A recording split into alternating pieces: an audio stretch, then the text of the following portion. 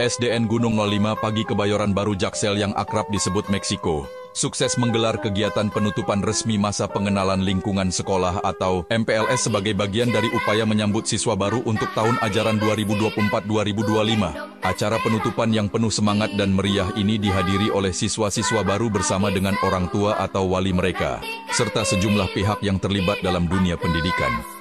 Dalam kesempatan tersebut, para peserta didik SD Meksiko unjuk keterampilan ekstrakurikuler mulai dari musik ansambel, paduan suara, karate, menari, hingga drum band.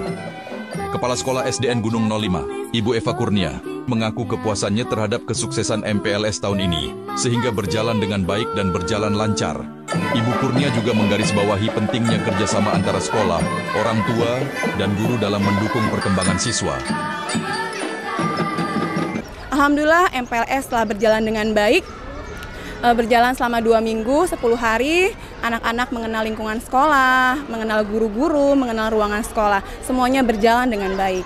Tentunya semua ini berkat dukungan dari Bapak Dewan Bapak Ibu Dewan Guru dan juga tentunya orang tua murid juga di sini sangat membantu sekali perannya terhadap kegiatan ini. Sebagai perwakilan dari wali murid, menyampaikan apresiasi dan komitmen dari orang tua murid dalam mendukung kegiatan di sekolah. Semoga kami orang tua murid eh, khususnya orang tua murid baru di sekolah negeri Gunung 05 Meksiko dapat memberikan kontribusi, dapat memberikan support luar biasa, bisa berkolaborasi dengan pihak sekolah untuk mensupport segala bentuk kegiatan, kegiatan mandiri yang mana kegiatan tersebut sangat dibutuhkan uh, support dari orang tua murid karena tanpa support orang tua murid kegiatan tersebut tidak dapat dilaksanakan.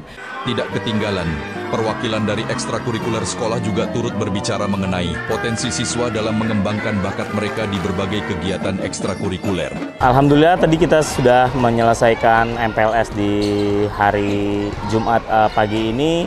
Alhamdulillah berjalan dengan baik. Uh, untuk eskul-eskul yang tampil di sini juga uh, mereka maksimal latihannya dan saya lihat tadi juga uh, begitu semangat dan antusias antusias banget anak-anaknya untuk uh, menampilkan perform di uh, acara MPLS ini Acara penutupan MPLS ini tidak hanya menjadi momen untuk merayakan pencapaian siswa-siswa baru, tetapi juga sebagai titik awal dari perjalanan panjang menuju kesuksesan pendidikan. Dengan semangat dan dukungan yang terus mengalir dari semua pihak terkait, diharapkan bahwa SDN Gunung 05 akan terus mencetak generasi penerus yang berintegritas dan siap bersaing di tingkat yang lebih tinggi. Tak bisa baca tulis,